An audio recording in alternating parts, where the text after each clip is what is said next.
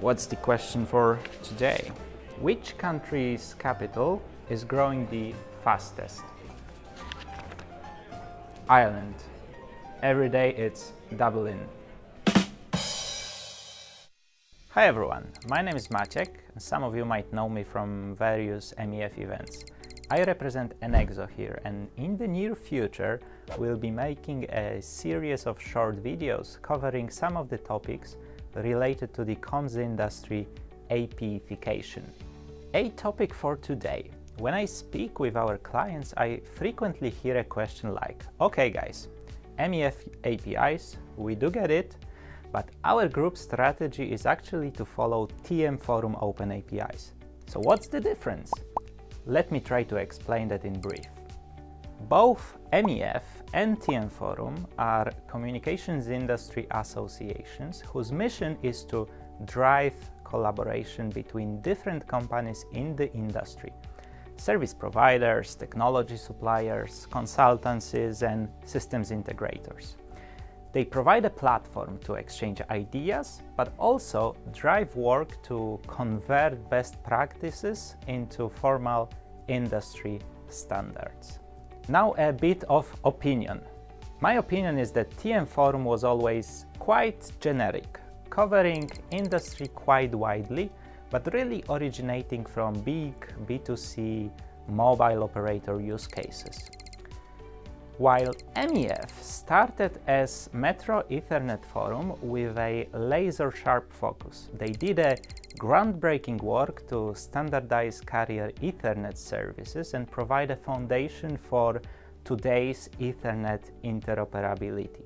Only in the recent years, their focus expanded to other areas, but still very much around wholesale and enterprise industry segment use cases. Both MEF and TM Forum publish industry standards which are worked upon in committees formed by participating member companies. Now, what standards they produce? For many years, TM Forum flagship standard was their frameworks, a set of guides or blueprints for CSPs, providing best practices on how to design business processes data models and IT applications.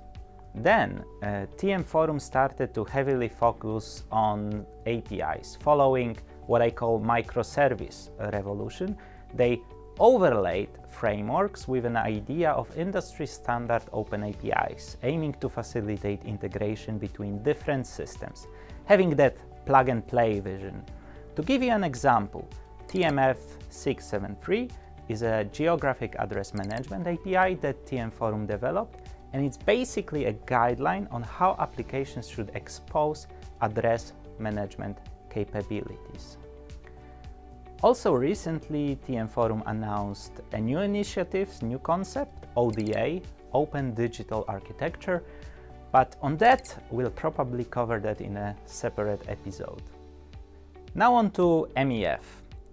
After they dealt with the carrier Ethernet, I think it was around 2016-17, they started to work towards inter-provider standardization.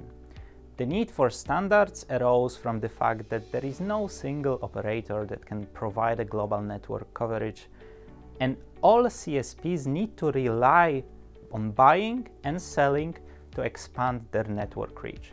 Use cases are different, frequently it's last mile access, but also backbone or diversity.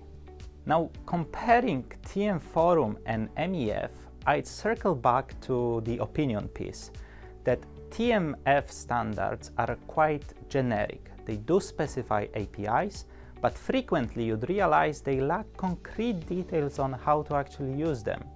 And MEF tries to fill that gap. MEF standards are very specific and very much wholesale carrier market focused. They provide description of business processes or use cases between buyers and sellers, together with, with steps that are needed to perform certain end-to-end -end flows, like, for example, uh, purchasing a service. Now a thing of a beauty.